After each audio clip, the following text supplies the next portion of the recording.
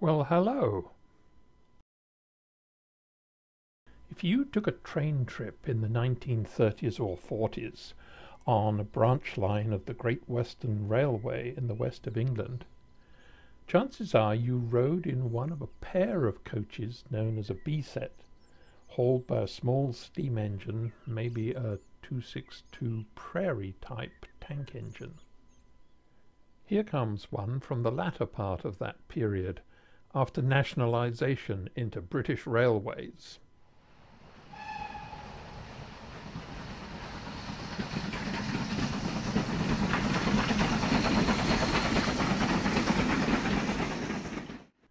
For less well patronized services, the company introduced the auto train, where the coach had a driving compartment at the far end, so the driver could control the train from either end.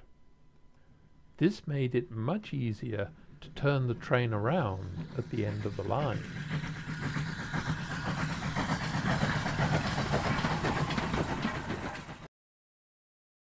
The next step in economy was to mount an AEC diesel engine under the rail car. Because of their shape and maybe also the brown and cream color, these units earned the nickname Flying Bananas.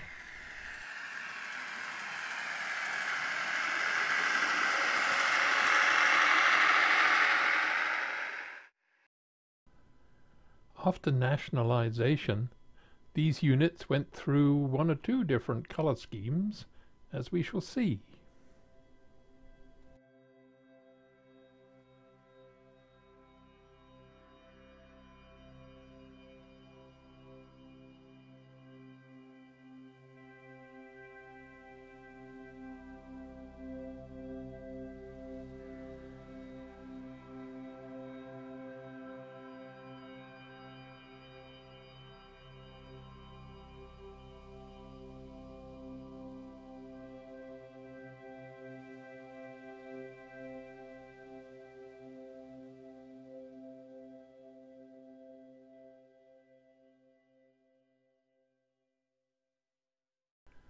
They could also have an auto coach hung on the back to form a train of two coaches, or even longer.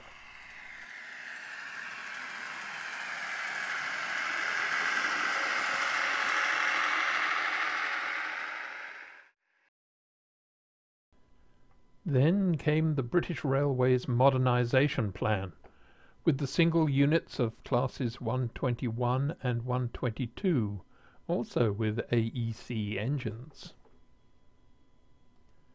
These ubiquitous units became known as bubble cars.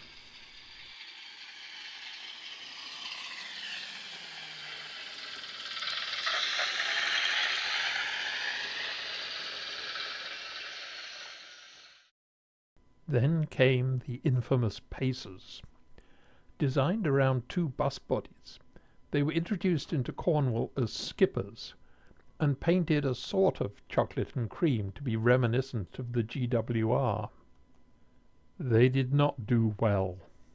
Their four-wheel suspension did not suit the sharp curves of the Cornish branches, and they had to be transferred elsewhere.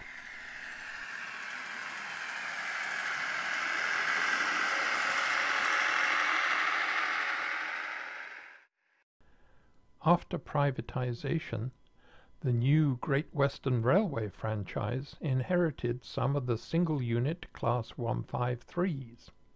These had been adapted from the two-car Class 155 by putting driver's cabs on the inside ends of the vehicles.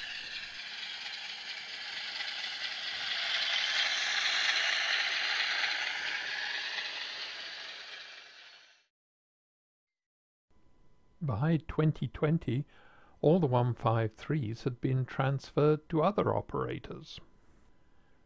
Now, the smallest trains in the West Country are all two-car units.